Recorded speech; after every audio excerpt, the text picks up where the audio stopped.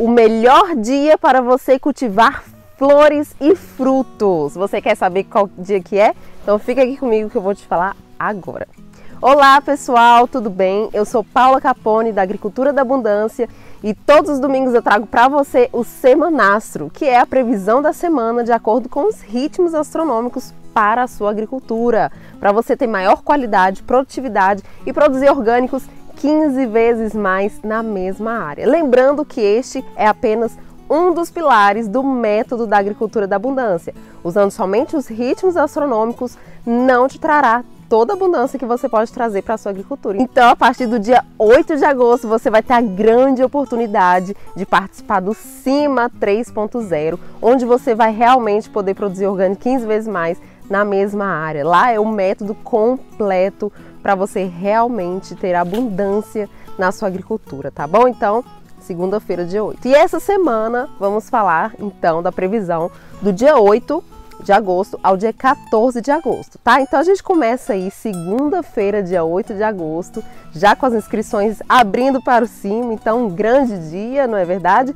E a lua vai estar crescente, então essa é uma ótima lua para inícios aí de plantios, tá? Para você plantar, colheitas também, já é muito favorecido, porque quando a gente está na lua crescente, é quando a seiva da planta, a energia da planta, começa a subir para os seus caules e folhas e frutos também. Então a energia da planta tá já no seu ápice, começa a subir para o seu ápice, tá? Então esse é um ótimo momento aí para a gente plantar. Colheitas também são muito favoráveis. E a lua vai estar na constelação de Escorpião até as 11 horas da manhã, tá? Escorpião traz uma forte influência aí para a parte das folhas, caules e folhas da planta.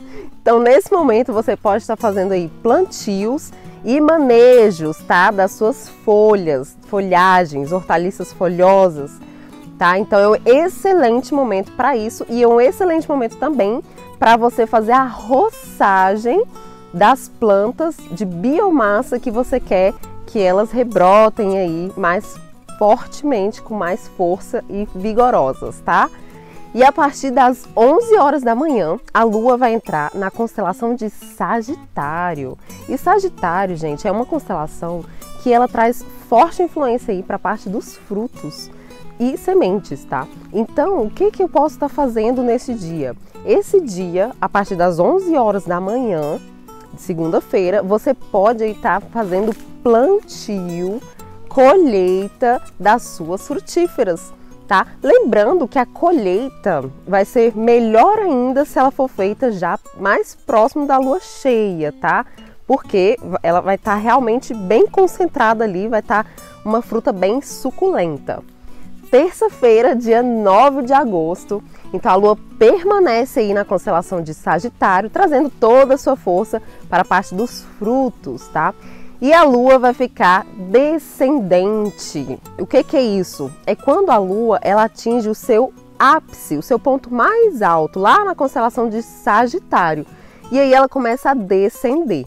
Tá? Então, essa, essa descendência vai trazer forte influência, principalmente para quem está ao sul do país. Então, quem está ao sul do país pode estar utilizando aí a força da descendência, tá? E quem está do centro-oeste para o norte do país utiliza aí os ritmos da lua de nova, crescente, cheia, tá joia?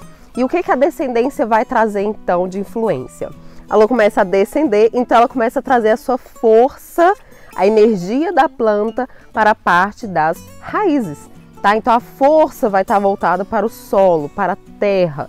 Então ela começa a descender, tá? Então ela começa a trazer a sua energia para baixo. Então quem está ao sul pode seguir aí a lua descendente. E ela vai ficar descendente até, até dia 21 de agosto, então aí por volta de 15 dias daqui para frente.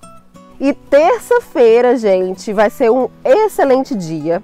Na verdade, vai ser o melhor dia do mês tá? Para você fazer a aplicação do preparado 501. Lembrando que o preparado 501, o ideal é ser aplicado logo no início dos raios solares, tá? Então, nos primeiros raios solares que ele deve ser aplicado para não queimar a sua planta, tá? Então, dependendo do foco aí do que, que a gente vai, do que, que a gente quer trazer para nossa planta, mas o preparado 501, ele é para quê? Assim, basicamente, para ele trazer mais maturação para sua planta, para ele trazer, para ele, tra ele trabalha as propriedades organolépticas.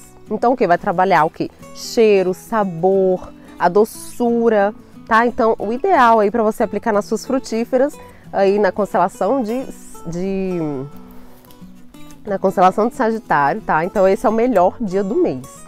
Então anota aí, terça-feira pela manhã, aplicar o preparado 501. E se você não sabe o que, que estou falando, então você precisa participar do CIMA, tá? Lá no CIMA tem um módulo que fala somente dos preparados biodinâmicos. Então você, aluno aí do CIMA, alunos do CIMA, você pode ir lá na plataforma e assistir o módulo dos preparados, tá? Como que você vai utilizar, como que você vai fazer a preparação para você poder aplicar direitinho, tá bom? E esse dia também você pode colher aí à vontade os seus frutos, porque eles vão estar muito deliciosos, com toda certeza, por conta aí dessa lua crescente já bem próxima, faltando um dia para a lua cheia, que eu vou falar agora dela.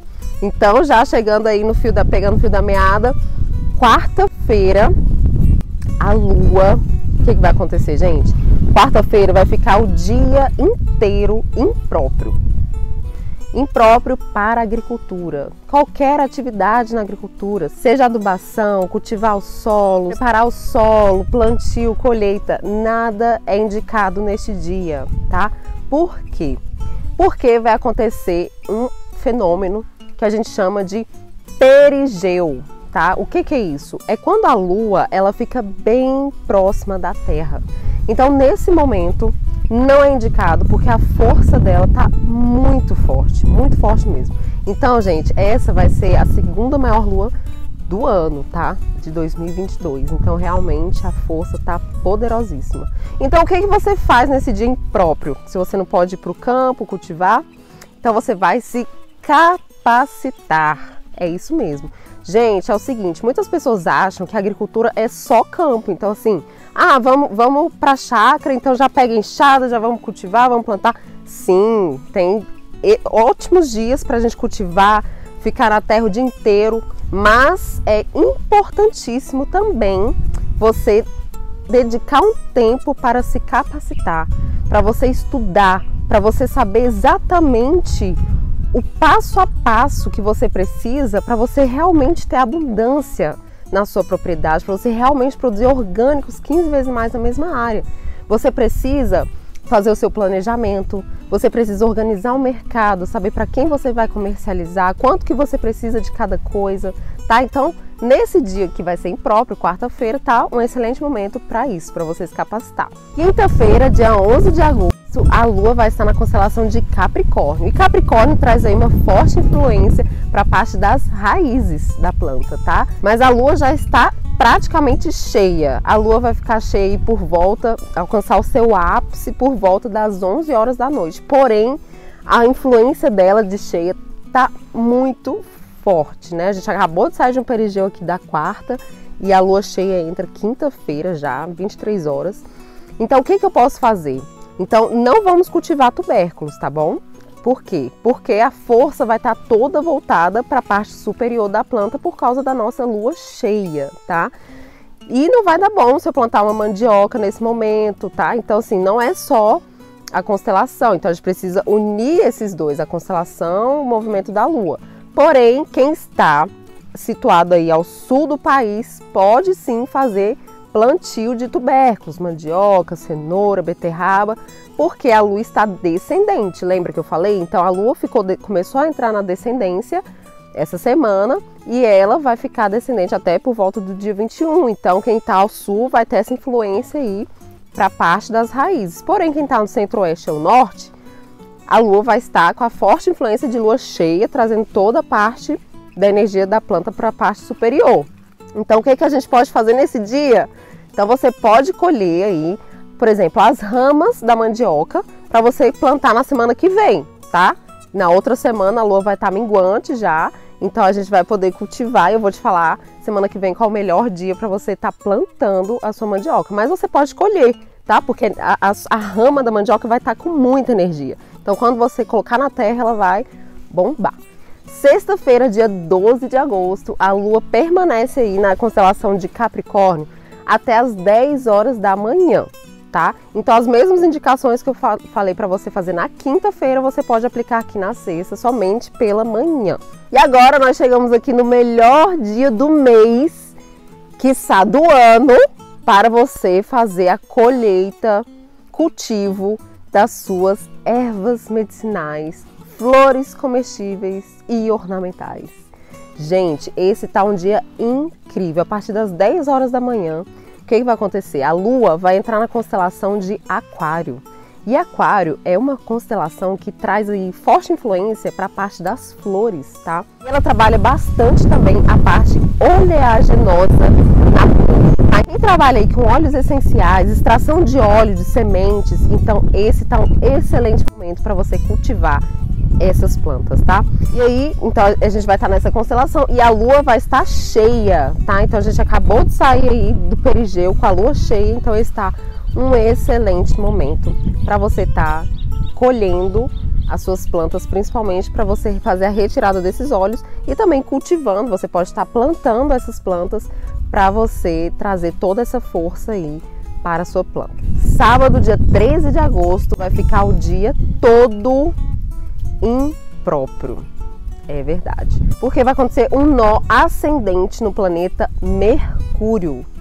Quando acontece isso, ele tem influência de 12 horas antes e 12 horas depois que acontece esse evento, tá? Então vai ficar o dia todo impróprio.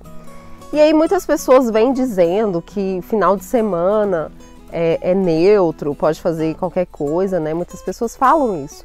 Porém, gente, é, tudo bem, a gente precisa seguir, acreditar também na nossa ancestralidade. Porém, é importantíssimo a gente investigar um, um pouco a fundo se realmente o que dizem pra gente é, é real, é verdade, faz sentido, tá? Então, por exemplo, tem até uma história para contar para você. E tinha uma moça que ela sempre fazia o peixe, cortava o peixe pela metade e desprezava a outra parte e assava aquele peixe. E aí o filho dela chegou para ela e perguntou: Ô mãe, por que, que a senhora corta metade do peixe e joga fora e assa só uma parte? Ela, ah, porque eu aprendi com a minha mãe essa receita, minha mãe que me passou dessa forma. E aí ela parou para pensar e falou: É, eu vou até perguntar para minha mãe por que, que ela faz dessa forma. E aí ela foi até a mãe dela perguntar: Ô mãe, por que, que a senhora assa o peixe? Quando a senhora vai assar o peixe, a senhora corta e joga metade fora e assa só uma parte?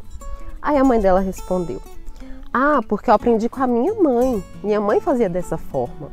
Aí ela, ah, então tá, vou perguntar para minha avó. E ela foi até a avó dela e perguntou: Ô vó, por que, que a senhora, quando vai assar o peixe, metade do peixe joga fora e fica com a outra parte do peixe? E aí a avó dela respondeu: Porque, minha filha, eu só tinha uma travessa pequena, era a travessa que cabia o peixe. Moral da história, gente: precisamos averiguar as informações que recebemos dos nossos ancestrais antepassados, tá? É importantíssimo, sim, a gente escutar, a gente dar valor para essas informações, mas a gente trazer para nossa realidade, a gente averiguar, ver se realmente é isso, né? Então, o que, que acontece final de semana? A lua, ela não para de trabalhar nenhum dia, ela dá o seu ciclo, ela fala, ah, então final de semana eu não vou trabalhar. O sol vai chegar no final de semana, ah, então não vou aparecer final de semana porque eu não vou trabalhar hoje. Ou então nosso coração chega no final de semana e fala, ah, não, vou tirar meu feriado aqui, vou fazer nada. Então o que, que vai acontecer? Tudo vai parar, né? Então o ciclo da natureza é sempre contínuo. Tá? Então esse negócio de final de semana foi o ser humano que trouxe. É a realidade do ser humano. Tudo bem, a gente precisou trazer essa organização dos dias da semana, de segunda, de domingo a segunda, sim, para a gente se organizar melhor o nosso tempo, né? Tempo de família, tempo de trabalho, tempo de lazer, beleza. Porém, a natureza não funciona dessa forma, tá? A natureza é constante o tempo todo. Então, não tem isso, dia de final de semana é neutro. Então, sábado, por exemplo, se você só tem sábado para você trabalhar na terra, no sábado você não vai poder cultivar, tá? Porque é impróprio e vai trazer influências totalmente negativas. Então, você não vai querer, né? Colher uma planta toda defórmica, né? Toda sem nutrientes, toda fora do seu padrão. Então você vai realmente ter prejuízo, tá? Então se organize para que você possa seguir os ritmos aí para você ter maior produtividade, realmente produzir orgânicos 15 vezes mais na mesma área, ter qualidade, alta produtividade. E eu trago o semanastro justamente para que você possa aplicar na sua agricultura, mas eu não quero que você fique dependente do semanastro. Eu quero que você aprenda a interpretar sozinho também. Então lá no cima tem explicando exatamente como que você interpreta o, a agenda, tá? O calendário biodinâmico para você ter autonomia, para você ter independência, para você pegar o seu calendário e você olhar, ah, esse dia tá ótimo, não, esse dia não dá para mim. E domingo, dia 14 de agosto, então a lua vai entrar na constelação de Peixes a partir das por volta aí das duas horas da manhã. E este momento é excelente para você fazer aí o plantio da sua biomassa. É isso mesmo. Então tá excelente porque a energia está no ápice. Então essa essa influência aí para as folhas, para parte dos caules e folhas, tá? Influência de peixes. E você também pode estar cultivando as suas hortaliças. Porém, não é indicado fazer colheitas, tá? Se você tiver que colher, colha o mínimo possível, tá? Porque tem muita água na parte superior da planta e ela pode ir apodrecer mais rapidamente, né? Então, criar fungos. Então, não é ideal. Espere aí mais um pouquinho, mais uns dois dias para você fazer a colheita, tá? E esse tá um excelente momento para você ofertar aí uma forragem fresca para o seu animal. Se você tem animais, então tá excelente, porque essa planta vai estar tá cheia de água, cheia de nutrientes. Então, o seu animal vai ficar muito feliz se você fizer isso por ele, tá bom? E é isso aí, então, essa semana, de 8 a 14 de agosto, eu fico por aqui. Deixe o seu like se você gostou desse vídeo, gosta dessas informações. Deixe também seu comentário para a gente poder trocar ideias, suge traga sugestões e também deixe suas dúvidas, se você ficou com alguma dúvida aqui, tá bom? Que a gente vai estar respondendo você. Lembrando que as inscrições do CIMA vão estar abertas essa, somente essa semana, tá? Então não perca a data, coloque aí na sua agenda para você se inscrever e produzir orgânicos 15 vezes mais na mesma área, tá joia? Um beijo grande e até semana que vem. Tchau, tchau!